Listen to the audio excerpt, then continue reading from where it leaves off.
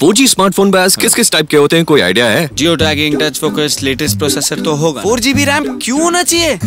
मैं बताता हूँ। देखो। इसको खोल के देखे। रीअसेंबल कर दूँगा। आइडिया का टू थाउज़ेंड कैशबैक है?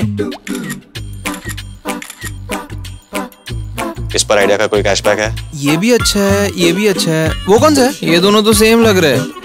नया फ़ोन लेना ज़रूरी है क्या?